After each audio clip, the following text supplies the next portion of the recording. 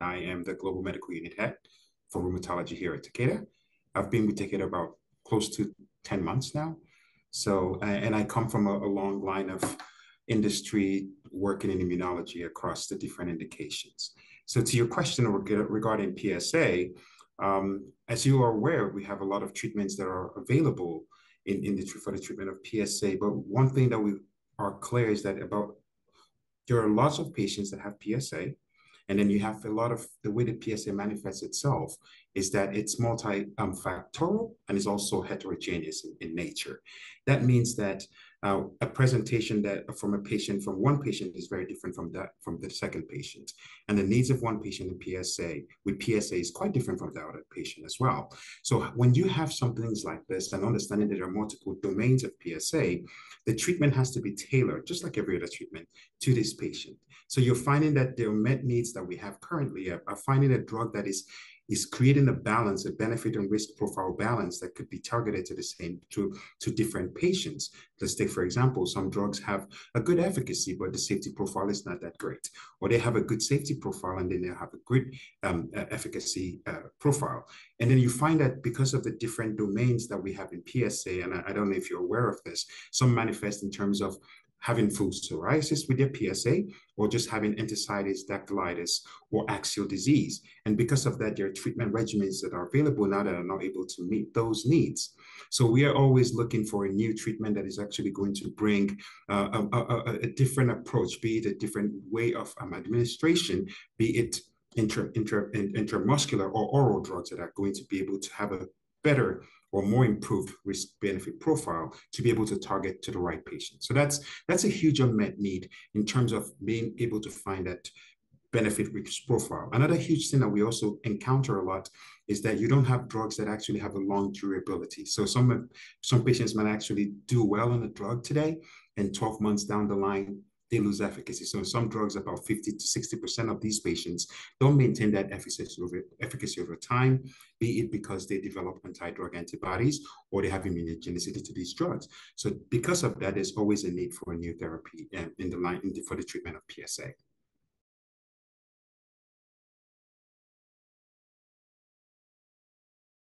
Oh, that's great. That's great. So when we when we look at Takeda's molecule, and, and I don't know if you're familiar with that, it's a TYK2 inhibitor called zasocitinib. It's a next generation um, selectivity TYK2. And we talk when we talk about the next generation selectivity TYK2, we're talking about its ability for us to focus and target TYK2, inhibit inhibit TYK2 exclusively, and and, and if you remember, TYK2 is part of the JAK family, and there's JAK 1, JAK 2, JAK 3. but Takeda's zasocitinib is able to target TYK2 without impacting the JAK 1, JAK 2, and JAK 3. And what we find that you, you're anticipating that this is going to be next level top selectivity in terms of making sure that we focus on that zasocitinib is targeting TYK2 and not overflowing to or having any other effects that you have in all the other JAK inhibitors that are available, one, two, or three.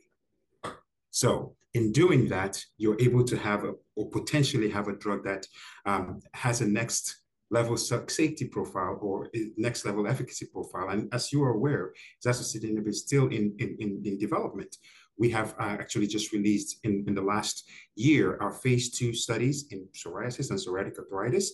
And you can see in psoriasis the efficacy and the safety profile that is actually replicated in the PSA study, which is psoriatic arthritis as well. And you're seeing the safety profile that is matching what we're seeing mechanistically as well. We still have to explore this in our phase three studies, and the PS, PSO studies, psoriasis studies, are already in their phase three, and we're anticipating to start our phase two, our phase three studies in PSA as well.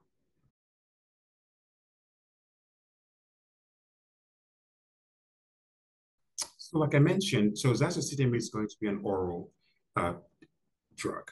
So it's going to actually expand that, that field of having patients that are looking for oral medications. And zasocitinib is meant to be, it's, it's, it's hoping to be one of the, if, if not the best in class of oral drugs that are available. We're looking at a very good, so far in our phase two studies, a very good safety benefit profile. And if, if that is replicated in phase three, we're able to add to the armamentarium of rheumatologists that are out there and giving them more options to, for their patients. So that's that's where we're looking at to, to be able to develop a drug that is able to have a good benefit risk profile, balancing the efficacy and the safety. something that I mentioned earlier regarding the unmet needs that are currently facing patients. And then when you look at something like the data that we just presented at EULAR, there are some challenges also when, when you have um, drugs that are not able to um, do well in terms of different weights and different um, sexes. But the data that we just presented at EULAR in terms of our, our, our, our sub-analysis looking at weight, um, sex, and prior um, biologics, you're seeing that zasocitinib is, is, is, actually working across all of these, independent of these different factors. So that's a, that's something that people are excited about as well.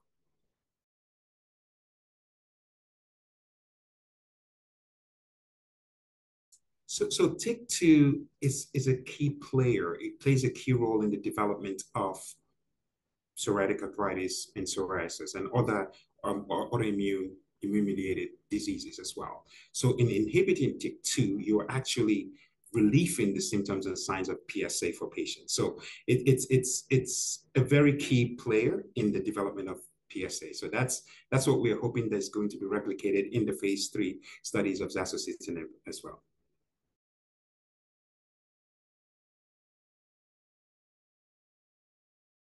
Yes, I, I wanted to, uh, I, I, know it's the first time, but to reintroduce Takeda, sometimes when you have a good molecule, uh, I always say that it's, it's, it's not just having the good molecule, it's also having it in the right hands. So when you have Takeda Pharmaceuticals, some people say, why Takeda? I heard, I got a lot of these questions. Why are we developing this drug? But we wanted to highlight that um, Takeda has been around for a while, and this is something that surprises a lot of people.